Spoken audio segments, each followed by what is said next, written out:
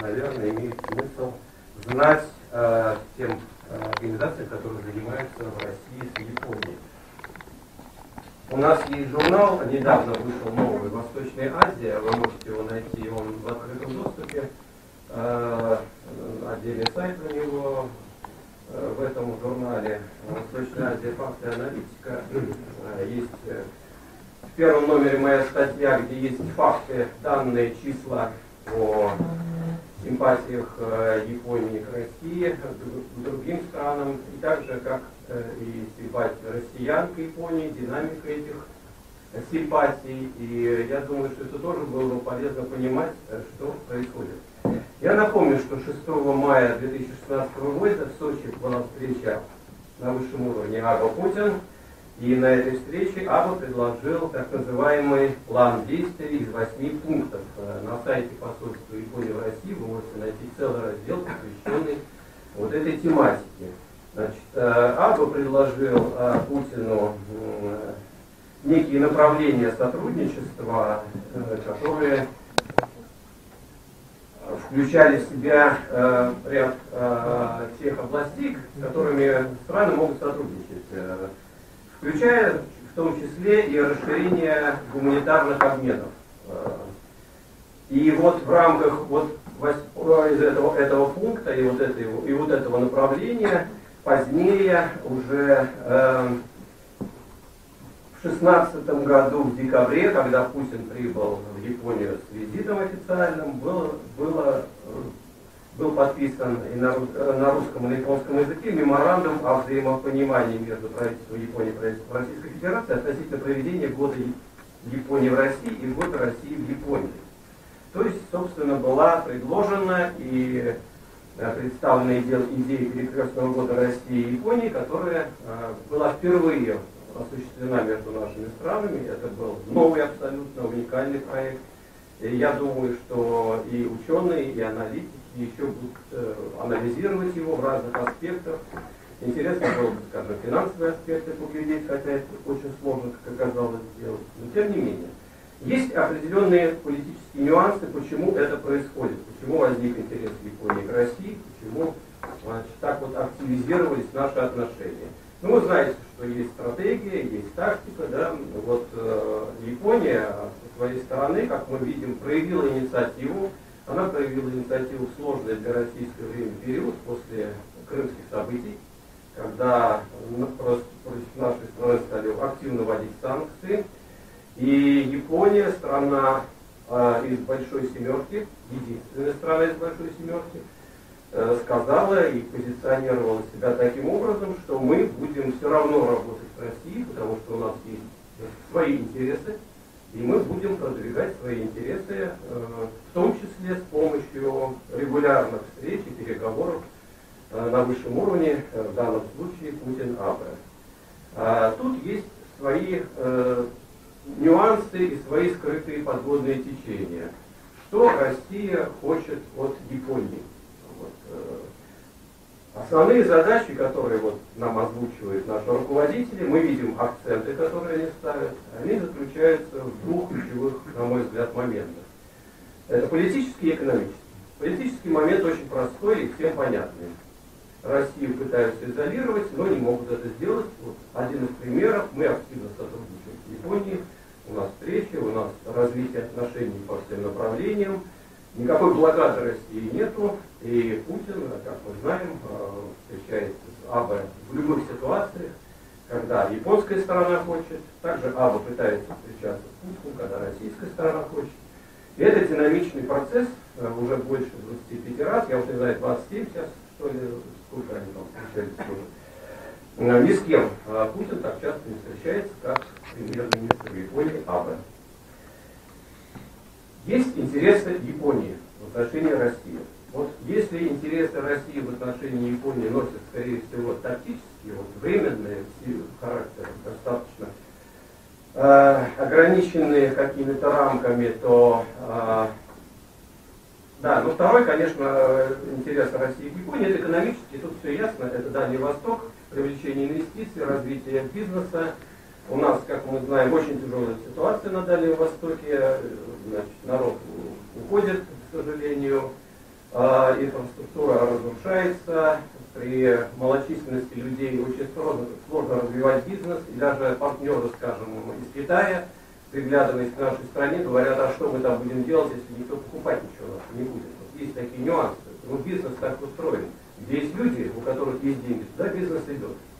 Если значит, территория пустеет, инфраструктура разрушается, то, естественно, надеяться на то, что придет добрый дядя из Китая или Японии, построить там э, город-сказку, такого не бывает сейчас. Все, к сожалению, сейчас по-другому делают.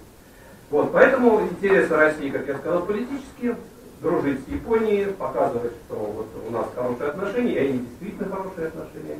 А вот с японской стороны интерес несколько иной, к сожалению. Да? Вот у них есть стратегический, совершенно четко прослеживаемый четко декларированный японской стороной интерес, это создать благоприятную российско-японских отношениях, российско-японских отношениях атмосферу, которая бы позволяла решать политические проблемы. Политическая проблема сейчас Японии в отношении России, как мы понимаем, наверное, одна и единственная. Это подписание мирного договора и решение территориальной проблемы.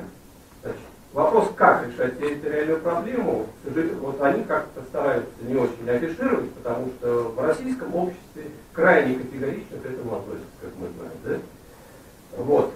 Получается, что э, с одной стороны, вот дальние некие тактические, э, стратегические интересы у нас не совсем совпадают. Россия не хочет ничего, естественно, отдавать Японии. Значит, вопрос, с какой стати, Э, вот война закончилась, это результаты войны, пересматривать никто не будет, есть определенная позиция российской стороны в том или ином виде, Значит, есть э, мнение экспертного сообщества, я не буду сейчас вот это затрагивать, это, это отдельная тема.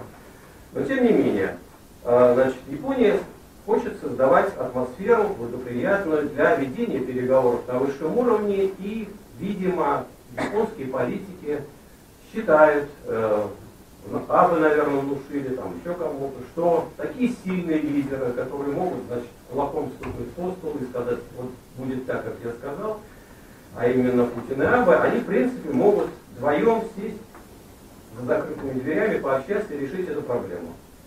Почему они так думают, мне сложно сказать, честно сказать. Может быть, у них эксперт там как-то что-то говорят такое, не знаю. Но понятно, что российская сторона э, значит, на это не пойдет на кулуарное решение территориальной проблемы, потому что по всем вопросам общественного мнения, э, как только задается вопрос по Японии насчет проблемы территории, отношение строго негативное, порядка 70-80%, это немножко колышется, но тем не менее, отношение негативное. Вот. Э, в то же время, значит, э, а японцы все равно продолжают настаивать и создают вот, э, инициативы свои. Вот инициатива АБ о восьми пунктах – это японская инициатива. И мы согласились с ней. Инициатива перекрестного года – это японская инициатива. Мы согласились с ней. Все, что сейчас происходит в российско-японских отношениях, все позитивно, это инициатива японской стороны. Это хорошо для того, чтобы продвигать, но это не очень хорошо с точки зрения вот нашей страны. А вот не будет у них инициативы и чего? Вот, э, значит, налаживать надо народную дипломатию и так далее. Вот как раз уровень общества, уровень народной дипломатии, Корней Троевые позволяет создавать базовый уровень отношений, который не будет, на который влиять политические веяния вверху не будут. Вот этим надо заниматься, и, конечно, общество России и Японии вклад, делает огромный вклад в это дело. Вот. Э, Какие еще там нюансы? Ну да, перекрестный год, естественно, прошел, был перекрестный. Он состоял из двух частей. Это год Японии в России, год России в Японии. Э, в, Японии, э, в России мы знаем, что курировала эту тему посольство России, Японии в России. У них там на сайте есть целый раздел, посвященный этой тематике. Вы можете поглядеть, что было сделано. Было много сделано, они молодцы, японцы в этом смысле. Все посчитали, проценты, количество все у них э, схвачено и, и запротоколировано. И с точки зрения России, значит, год России в Японии, там тоже было проведено довольно много мероприятий, есть определенная статистика, но я читать не буду, это никому не интересно. Статья будет, этот материал будет опубликован э, в декабре, поэтому можете поглядеть. Следующий момент, э, значит, позитивный тоже опять момент, вот надо все-таки на позитиве больше. Э, закончился перекрестный год, и были опасения экспертов, что охлаждение отношений будет, это понятно, это логично было бы, да, тем более, что японцы, вот они на пике этого года, вы знаете, было много дискуссий, в японской стороне много выступлений, что вот сейчас вот, вот мы сейчас вот все сделаем, все подпишем, все вернем и будет замечательно вот у нас. Но ничего не получилось, и были опасения, что наступит охлаждение в российско-японских отношениях после перекрестного года. Но, слава богу, этого не произошло. Опять-таки, благодаря японской стороне, которая предложила некий новый формат, новый, новую постановку вопроса, новый год региональных и побратимских обменов. А, решили вот в следующем 2020 году, ну, поскольку японцы у нас работают по финансовому году, это будет 2020 год, 2021 год, естественно. Вот, э, значит, продолжать это дело, и сейчас идет подготовительная работа. Короче, провала в отношениях нету. Это очень хорошо. Но опять-таки, вот у нас стратегическая вот эта часть, она провисает, к сожалению. И вот это вот надо иметь в виду, что э, есть определенные риски российско-японских отношений именно потому, что сейчас наши интересы совпадают, Россия и Япония, нам интересно, да, и Россия, и Япония. России интересно поддерживать отношения с Японией, Япония с Россией. Но дальше что будет? Вот если не будет выхода на конкретные результаты, будут проблемы, на мой взгляд. есть еще некие э, такие вот объективные вещи, я хотел о них сказать буквально пару слов. Значит, есть э, известно, что есть опросы общественного мнения, они есть в России и в Японии. Чем характерны опросы общественного мнения в России в отношении Японии? Там есть три позиции интересных. Первая позиция, значит, как вы относитесь к Японии. Почти подавляющее большинство россиян хорошо относится к Японии. Ну там чуть меньше, чуть больше, это не принципиальный вопрос, это всегда там высокий процент. Вторая позиция по Японии. А как вы относитесь к территориальным притязаниям Японии? Практически все негативно относятся к Японии. Вот по результатам перекрестного года а, значит, вырос процент людей, которые понимают, что мы можем развивать совмест, э, осуществлять совместное освоение экономическое Южных Курил, и что имеет смысл разговаривать с Японией о продолжении переговоров. Это плюс перекрестного года, вот какой японцы у нас увидели. Вот они на это шли, и они это получили. И третий момент, вот есть такие опросы, вы знаете, враг или друг, вот страна враг или друг. Вот Япония у нас всегда находится э, и не другом, и не врагом она у нас не видится, потому что накладываются две вот эти вот позиции. С одной стороны, Япония, э, друг мы ее любим, да, с другой стороны, она не друг, потому что что-то от нас хочет, и поэтому получается, что Япония, как э, в известной песне Владимира Высоцкого, и не друг, и не враг, а так. Вот десятка друзей, десятка врагов, и внизу, вот там вот находится где-то Япония. Вот такая ситуация. В Японии, к сожалению, ситуация, на мой взгляд, э, хуже в том смысле, что там на протяжении многих лет симпатии японцев к России остаются на достаточно низком уровне.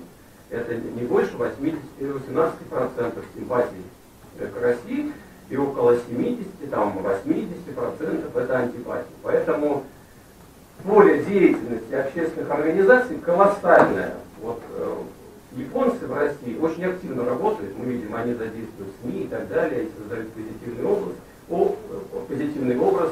Вот, к сожалению, в Японии Россия значительно слабее работает. Не потому, что, наверное, э, вот там экспертов нет, вот Галузин высокий, высокий профессионал, там вопросов нет, да?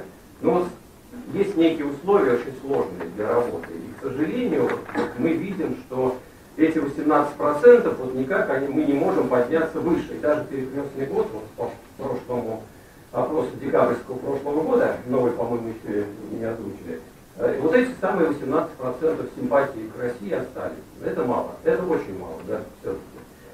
И, конечно, надо вот э, пытаться проводить э, некие Японцы прагматики. Вот был такой. Японцы вообще прагматики. Они люди, вот они видят что-то хорошее, они говорят, что это хорошо. А если видят что-то плохое, плохое. Вот надо нам э, э, активизировать или продвигать проекты, которые были выгодны, выгодны и нам, и им. Когда они видят, что происходят позитивные изменения в российских японских отношениях, это будет афишироваться и тиражироваться в Японии, и, на мой взгляд, когда вот это вот 18% уже будет не 18, а там сначала 20, 25 и так далее. Надо рассчитывать на позитивные результаты, учитывая сегодняшнюю ситуацию, что Россия заинтересована в Японии, Япония, э, Япония заинтересована в России. Учитывая позитивную ситуацию на высшем уровне, что они хотят переговоров, они хотят работать, надо прикладывать усилия, чтобы создавать более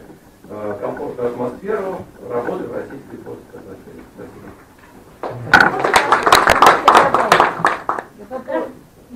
Что, у вас сеанс вопросов ну, в экономических отношениях чего? У нас, э, скажем, лет 10 тому назад, вы знаете, товарооборот был, товарооборот был более 30 миллиардов долларов в российско-японских отношениях. После крымских событий он обвалился где-то там на 18 миллиардов. Сейчас э, в прошлом году был 21 миллиард долларов, и мы начали немножко значит, подбираться. Но мы не достигли уровня 2012 года в любом случае. А каких-то конкретных проектов? Ну, конкретных проектов достаточно много. Проекты сейчас, э, понимаете, вот раньше мы работали по крупным проектам. Вот Сахалин, там там гигантский проект. Сейчас японская сторона, как я понимаю, вот э, они нам пытались разъяснить, они хотят работать по более маленьким проектам, но близким к людям. Вот я так понимаю, что вот такая система. То есть там где-то больничку построить, где-то там Э, какой-то заводик, там куда-то инвестировать, что-то такое делать. Крупных проектов, я не знаю, какие сейчас у нас совсем крупные проекты. Заводиков не видно. Кого? Заводиков не видно. Значит, заводиков в России не видно. После распада Советского Союза все заводики были разрушены или переданы собственникам. Поэтому о чем говорить про какие заводики? Значит, э... В Астрахани они построили завод. Нет, есть, конечно, можно там взять и какие-то примеры привести. Но вот этот восьми, это восьмипунктный план, он предусматривает не только заводы, там есть еще больницы, медицина, высокие технологии, совместное э, освоение там, э, вот сейчас вот на, на Южных Курилах они пытаются там э, организовать туризм, там взаимный какой-то туризм организовать, э, мусора сжигание, мусор, обработку мусора и так далее. Проекты немножко, вот структура, на мой взгляд, немножко изменилась, позиция Японии немножко изменилась, и я думаю, будет сложно выползать нам, достигать вот этого 30 миллиардов, как было раньше, из-за того, что немножко масштабы проектов меняются. Кроме того, на мой взгляд, вот есть еще сейчас, вы знаете, да, наверное, большие риски международного финансового кризиса, все к ним готовятся, и чего, во что это выльется, вообще никто не понимает. Там уже говорить о российско-японских отношениях не приходится, потому что если обвалится все, то обвалится вообще все.